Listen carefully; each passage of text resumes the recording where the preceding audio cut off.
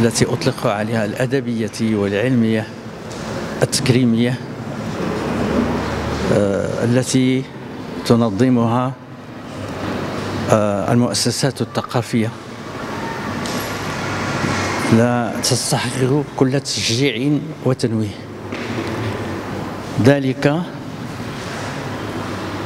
لأنها خلال هذه الندوات تعرف برجال الفكر المغربي. كما تعرف بإصداراتهم في مختلف العلوم والفنون.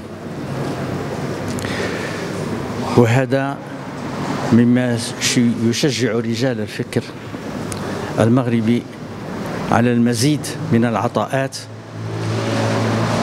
والخلق والإبداع في مختلف فنون المعرفة. وهذا مما سيغني الخزانات والمكتبات الوطنية والعربية وما ذلك على همة رجال الفكر بعزيز. يلقيها المخرج السيد الأستاذ عبد الحق البريني واحد من أعلام الكتابة التاريخية الوطنية المعاصرة. له إسهامات علمية غزيرة. جعلته موضوع ثقة صاحب الجلالة لتعيينه مؤرخا للمملكة. يستحق الأستاذ عبد الحق البريني أكثر من تكريم وأكثر من التفاتة.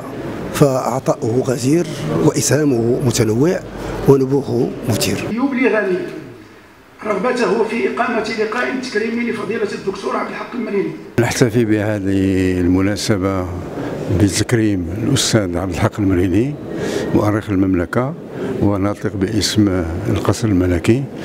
تكريم مستحق لأن السيد هذا اشتغل رغم المناصب الكبرى اشتغل في ميدان التأليف ميدان الأدب ميدان الكتابة ميدان التاريخ. ونحن نعتز بهذه الشخصية. وكذلك آه، ارتباطه بالكتابة والآداب والعلم.